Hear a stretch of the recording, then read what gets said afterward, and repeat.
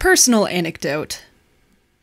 There was a period in my life where I had repeated intimate encounters with something called panic attacks. Usually, these were of the existential sort. What is life? Who is this body? Is our reality fake? Why is my heart going so fast? Anyway, you know what I like to do after panic attacks? I like to watch two bald pixel people speak to each other in Russian.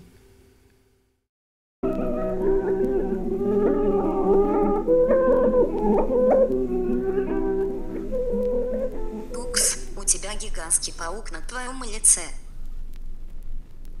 Я знаю. Я положил его туда. You're probably thinking, what the hell did you just show me? Well, that was from a series called Tux and Fanny, and it will change you. Tux and Fanny is the creation of a guy called Albert Birney, who is not Russian. He's from Baltimore. Birney is actually a fairly prolific indie filmmaker, and he's had his other stuff shown at places like Sundance. His MO is kind of being weird and abstract and sometimes philosophical. But Tux and Fanny is a very interesting piece of media. I mean, this is how it starts. Тукс и Фанни.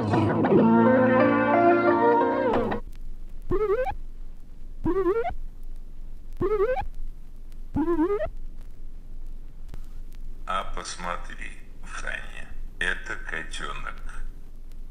Вау.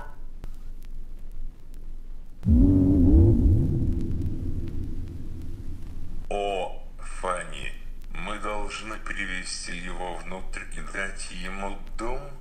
Что делать, если кошка покрыта блохами, которые наводняют наш дом?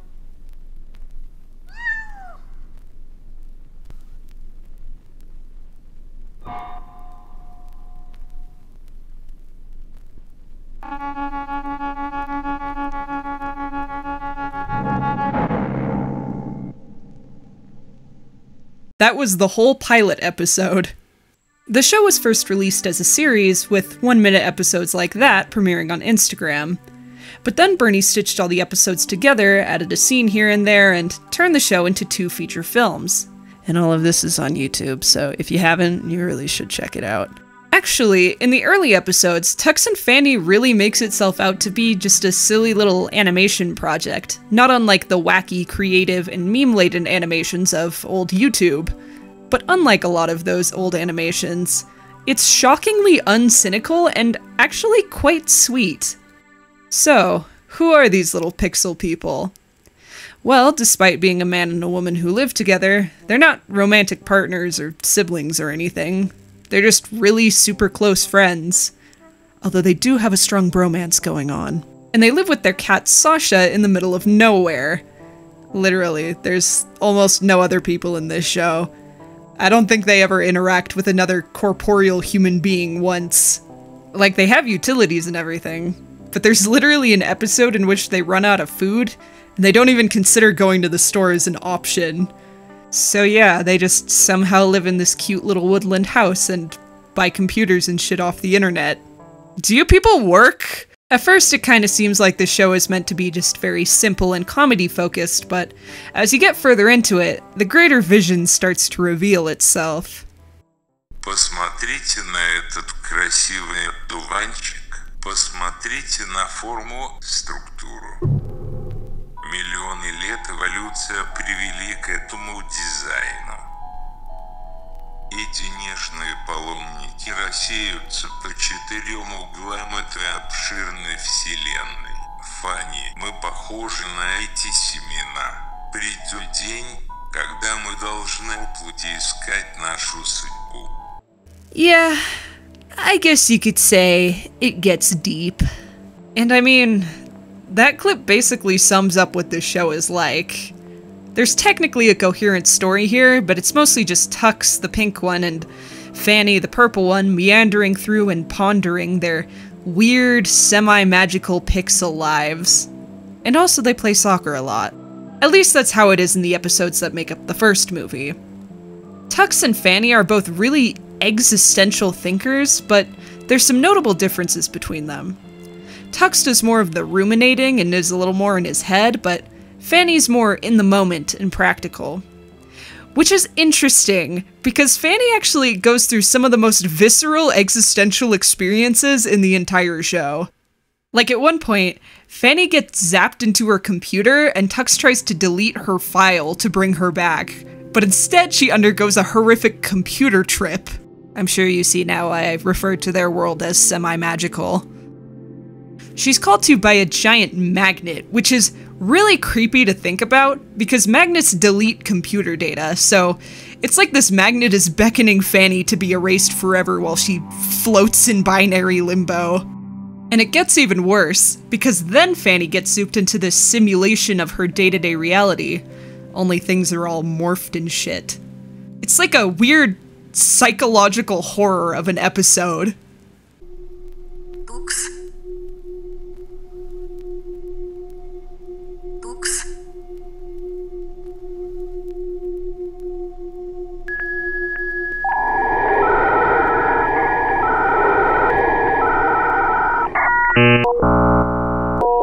I promise this isn't a horror series, it just gets like that sometimes. As for Tux, he vocalizes these deep takes a lot more, but it kind of makes him act like a wacko.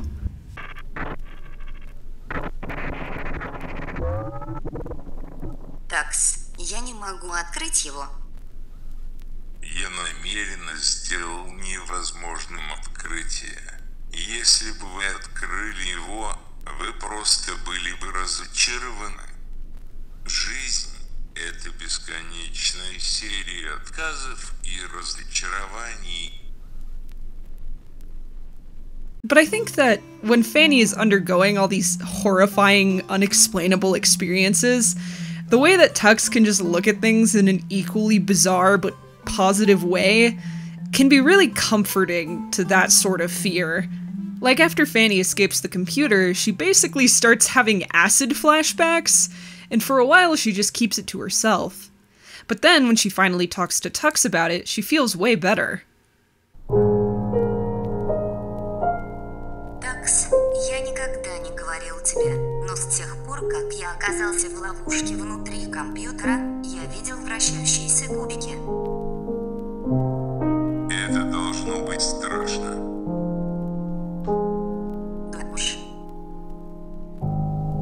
Я думаю, что некоторые вещи длятся долго. Может быть, это поможет, если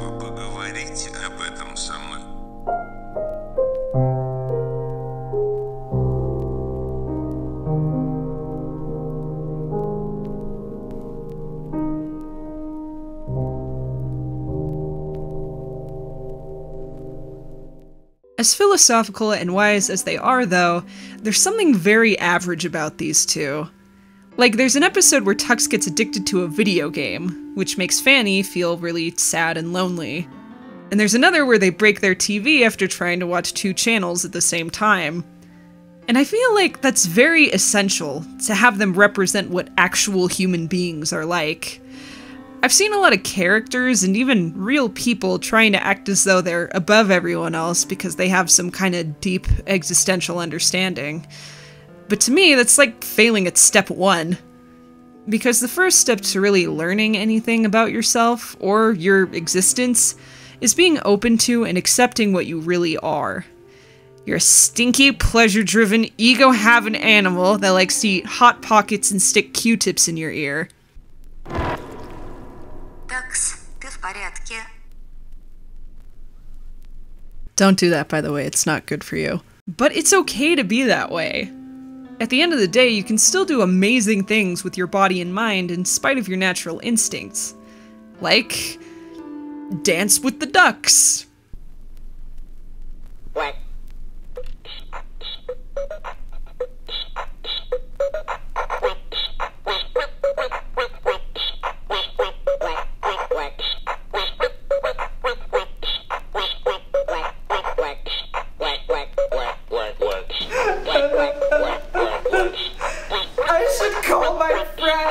There's a real sense in Tux and Fanny that everything in life has a lot of depth, but it's also all quite simple. As far as philosophical art pieces go, this is probably one of the least pretentious ones I've ever seen. The psychedelia and revelations are almost presented as just funny. Every time Tux waxes poetic about mortality or some shit, it's almost always played for laughs, because it's immediately after contrasted with Fanny saying something really simple and matter of fact.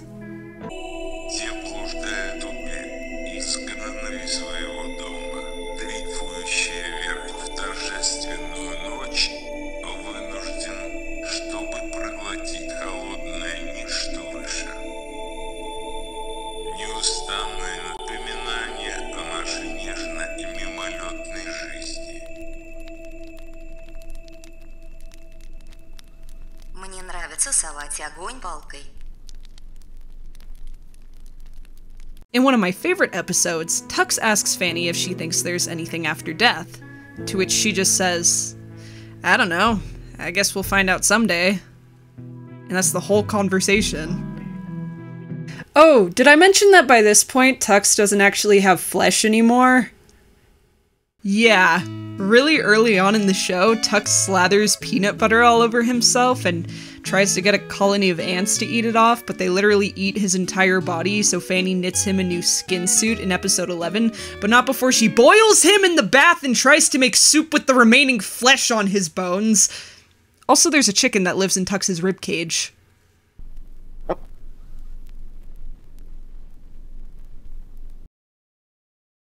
By the end of the show, there's like I don't know if it counts as lore, but there's just an insane amount of absurd backstory to everything.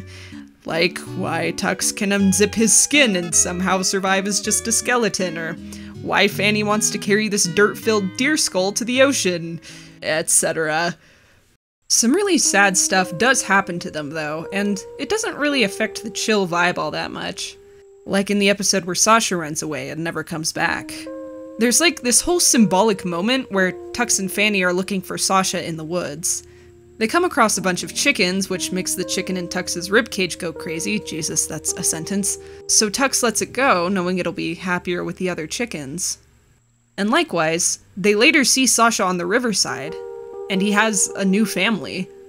And they just kind of respectfully nod at him as they pass by. I am a little sad that Sasha ran away so early in the series. He really was a nice part of the household. And it's not like he didn't like his owners or anything. I mean, he did dream about them.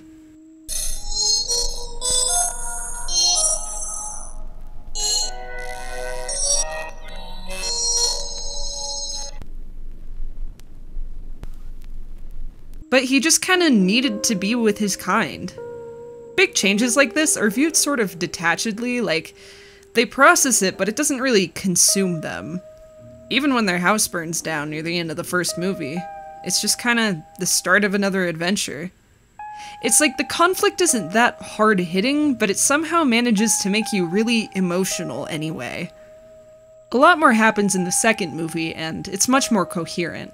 So if you want to see the rest of the show for yourself, you should probably stop watching now. Trust me, it's really good and worth watching on your own.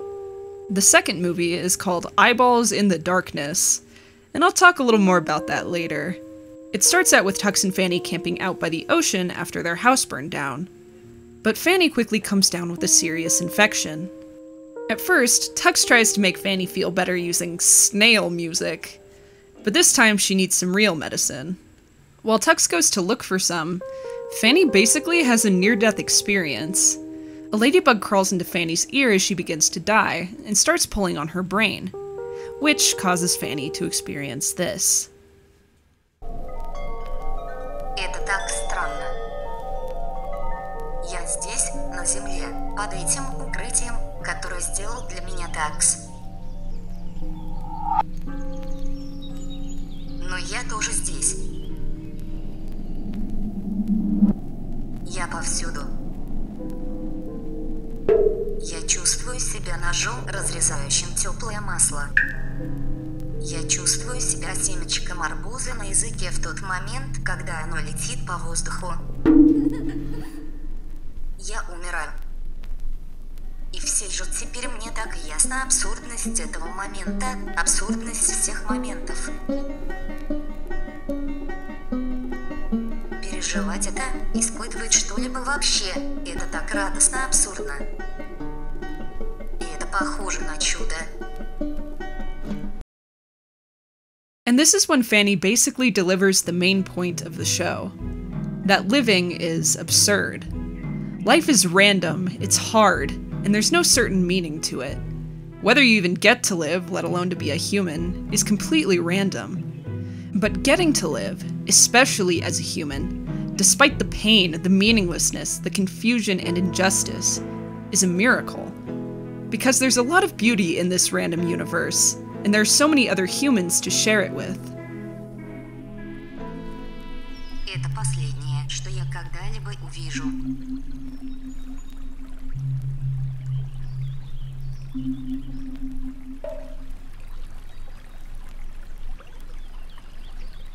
This shit makes me want to sob.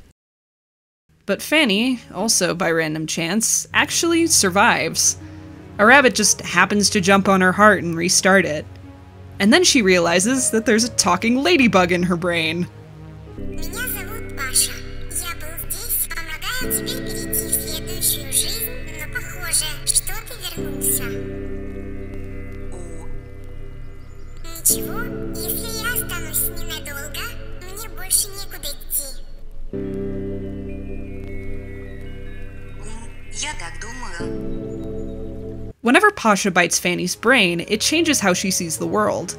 And eventually, she teaches Fanny how to change her own perspective. Which, like, seems to imply that Fanny is somehow enlightened after almost dying. I think. Anyway, in the second half of the movie, they explore a house which is haunted by this adorable little ghost guy.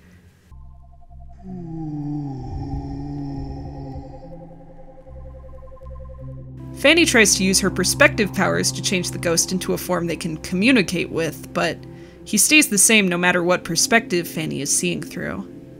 I think maybe this is because he's just kind of the pure essence of a human. He isn't a perspective, he's just the truest form of a person with all the illusion stripped away. So, they learn that the ghost's name is Claude, and he kind of directs them around the house, trying to show them the things that tell his story.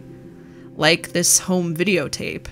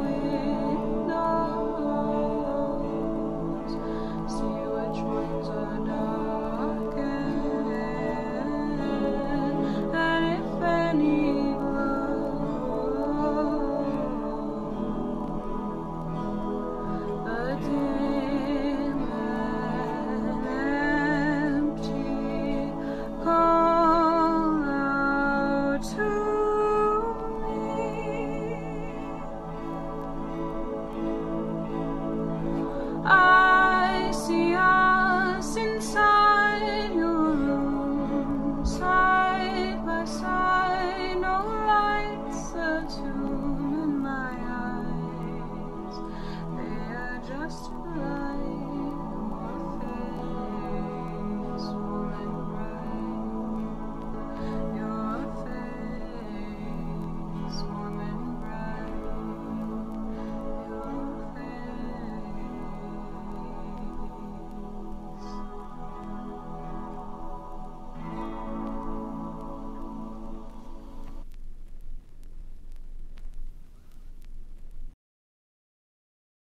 In one of the most tragic episodes in the whole show, Fanny reads Claude's journal to Tux.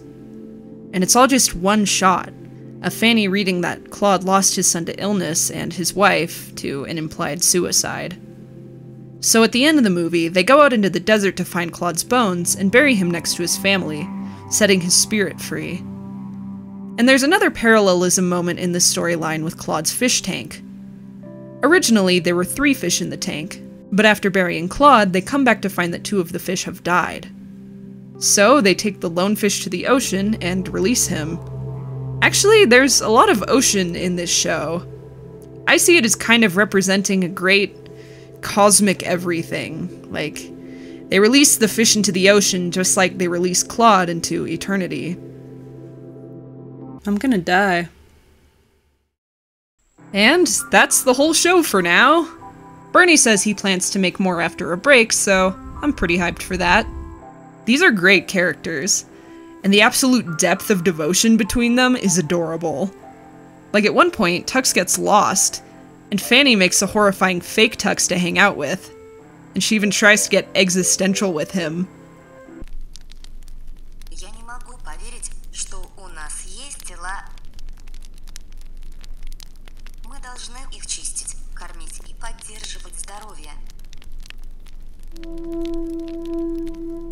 И время случайно портит наши тела.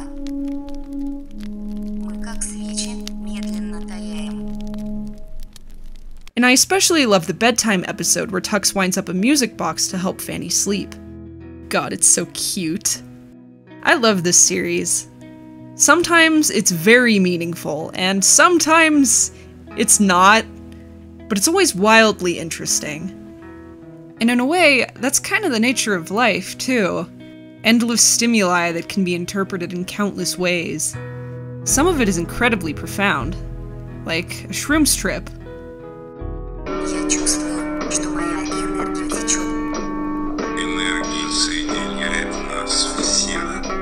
And some of it is basically just a meaningless mishmash of information, like a shroom's trip.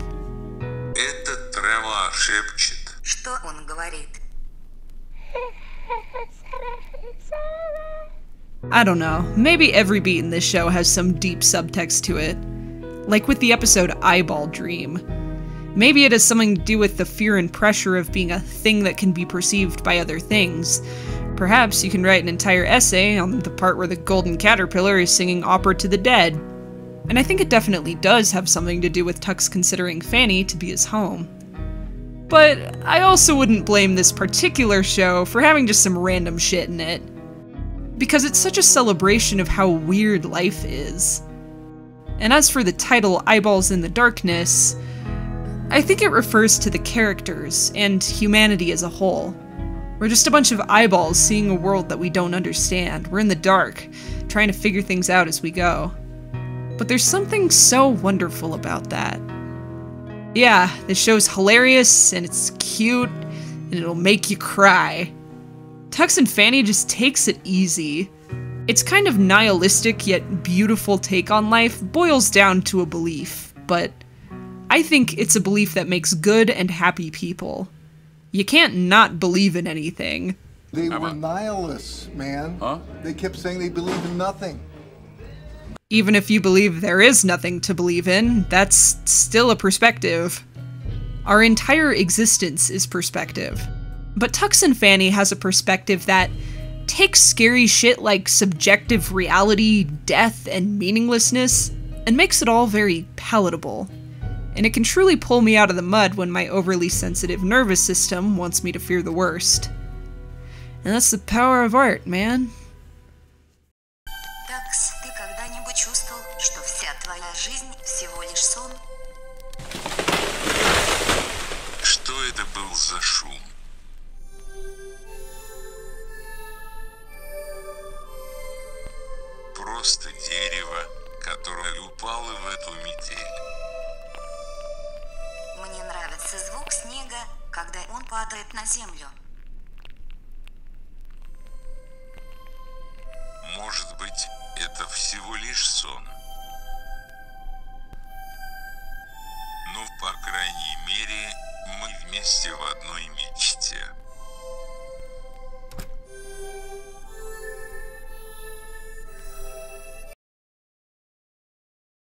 Sorry to get all mushy on you there.